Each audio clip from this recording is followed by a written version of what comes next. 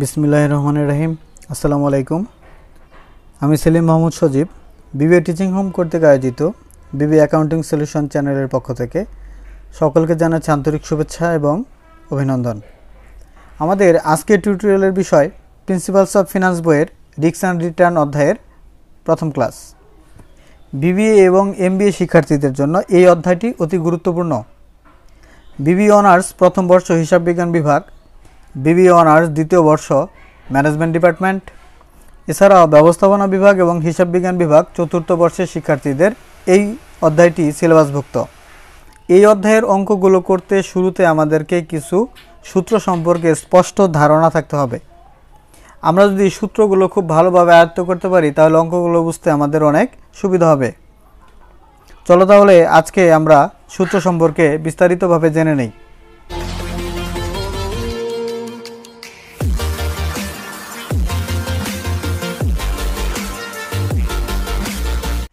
অধ্যায়টি হচ্ছে রিক্স অ্যান্ড রিটার্ন, ঝুঁকি এবং আয়। শুরুতে আমরা দেখতে পাচ্ছি সিএপিএম সিএপিএম এর পূর্ণরূপ হচ্ছে capital assets pricing model. Capital assets pricing model, এটি একটি অঙ্ক করার পদ্ধতি।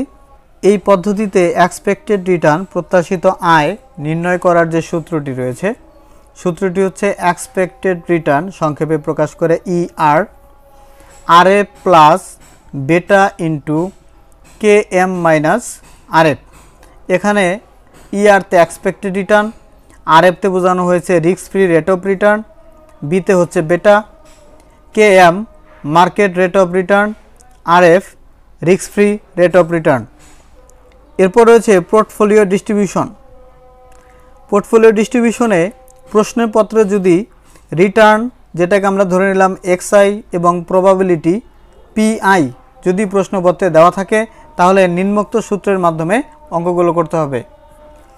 শুরুতে যে সূত্রটি রয়েছে এক্সপেক্টেড রিটার্ন যদি প্রশ্নে রিটার্ন প্রবাবিলিটি দুটি অপশন দেওয়া থাকে, সেই ক্ষেত্রে এক্সপেক্টেড রিটার্ন এটাকে আমরা প্রকাশ করব এক্স বার দিয়ে। যেহেতু আমরা রিটার্নকে এক্স আই ধরে নিয়েছি, তাহলে এক্সপেক্টেড রিটার্নকে বলব এক্স বার উপরে যে চিহ্নটা দেখতে পাচ্ছ, এটার নাম হচ্ছে বার চিহ্ন। এই ক্ষেত্রে এক্সপেক্টেড রিটার্ন নির্ণয়ের সূত্র হবে X bar equal summation X I into PI এটা হচ্ছে সামেশন চিহ্ন। দ্বিতীয় সূত্রটি হচ্ছে স্ট্যান্ডার্ড ডেভিয়েশন, আদর্শ বিচ্যুতি। এটাকে প্রকাশ করা হয় সিগমা দ্বারা। এটি হচ্ছে সিগমা চিহ্ন। সূত্রটি হচ্ছে over summation PI into X I minus X bar square তৃতীয় সূত্রটি হচ্ছে ভেরিয়েন্স। সিগমাকে স্কোয়ার করলে ভেরিয়েন্স হয়ে যায়।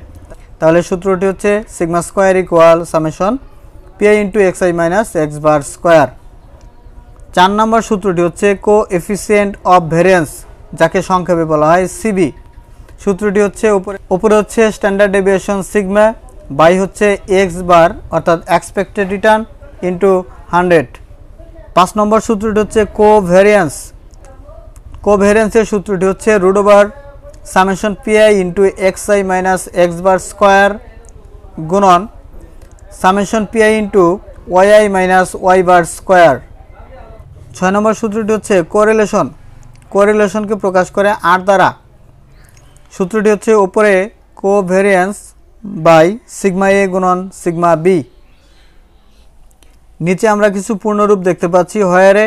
R F equal risk free rate of return বিতে হচ্ছে বেটা কে এম এর আরেকটা রূপ হচ্ছে আর এম কোনো কোনো বইতে কে এম ব্যবহার করা হয়েছে এবং কোনো কোনো বইতে আর এম ব্যবহার করা হয়েছে। যে কোনো একটি ব্যবহার করলেই চলবে। এর পূর্ণরূপ হচ্ছে মার্কেট রেট অফ রিটার্ন।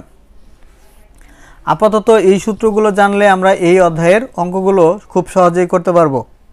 আজকের ক্লাসে আমরা প্রথম যে সূত্রটি রয়েছে সিএফপিএম মডেলের expected return equal R F plus beta into K M minus R F এই সূত্রটি কীভাবে অঙ্কে প্রয়োগ করে অঙ্কের সমাধান করতে হয় তা আমরা আজকের অঙ্কে জেনে নেব। তোমরা স্ক্রিনে একটি কোশ্চেন দেখতে পাচ্ছ।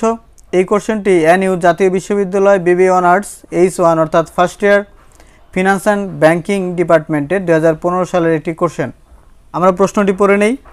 Suppose the risk free rate অর্থাৎ রিস্ক ফ্রি রেট আমরা জানি আর এফ আর এফের মান দেওয়া রয়েছে eight percent the expected return on the market is sixteen percent আমরা জানি মার্কেট রিটার্ন বা রেট অফ রিটার্ন থাকলে এটাকে প্রকাশ করে কে এম অথবা আর এম দ্বারা। If a particular stock has a beta zero point seven zero তাহলে এখানে বেটার মান দেওয়া রয়েছে zero point seven zero what is its expected return base on the CAPM প্রশ্ন বলছে হোয়াট ইজ এক্সপেক্টেড রিটার্ন প্রত্যাশিত আয়ের পরিমাণ বের করো। বেস ভিত্তি করে অন দ্য সিএপিএম অর্থাৎ ক্যাপিটাল অ্যাসেটস প্রাইসিং মডেল, এর ওপর ভিত্তি করে এক্সপেক্টেড রিটার্ন বের করো। প্রশ্নে ক্যাপিটাল অ্যাসেটস প্রাইসিং মডেল, এটি বলা থাকলে আমরা বুঝে যাব সূত্র নাম্বার এক এক্সপেক্টেড রিটার্ন সমান R F plus beta into K M minus R F এই সূত্রটি ব্যবহার করতে হবে। পাশে আমরা একটি হয়ার করে নেব। R F equal risk free rate of return আট পার্সেন্ট আমাদের এখানে প্রশ্নপত্রে দেওয়া রয়েছে। এরপর হচ্ছে কে এম মার্কেট রিটার্ন বা মার্কেট রেট অফ রিটার্ন ষোলো পার্সেন্ট দেওয়া আছে। এখানে লিখব ষোলো পার্সেন্ট এরপরে দেওয়া রয়েছে স্টক বেটার মান পয়েন্ট সেভেন জিরো। তাহলে আমরা বেটা চিহ্ন দিয়ে লিখব stock beta point seven zero. এবং এক্সপেক্টেড রিটার্ন প্রশ্নে বের করতে বলছে, এটা হোয়াট চিহ্ন, এটা দেওয়া নাই, বের করতে হবে।